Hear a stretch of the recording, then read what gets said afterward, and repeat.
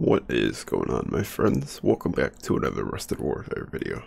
In today's video, we will be covering the basics of the Carrier, the premier late game naval option. The Carrier is built at the upgraded sea factory for a cost of 30,000 credits. It takes 64.1 seconds to build and has a health pool of 6,000. It does not have a shield. It has a move speed of 0.5. It has three projectile attacks, one against each type of enemy. The sub attack deals 65 damage every 3 seconds, while the ground attack deals 110 times 2 every 1.67 seconds.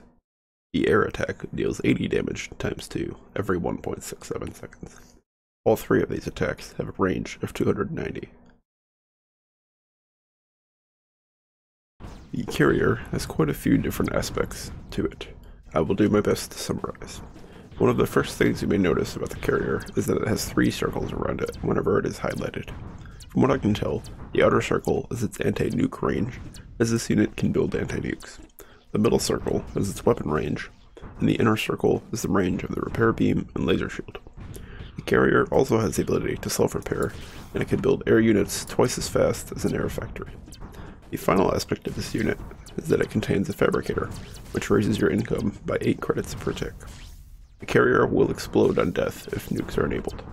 With all of that being said, the carrier makes for an excellent late game air factory, as well as helping defend on most any map with water. Just be sure to not let your carriers blow up your own defenses. That about sums up my thoughts on the carrier, a late game water unit can build you an air army in no time, with some income of course. I hope everyone enjoyed, and I'll see you all next time.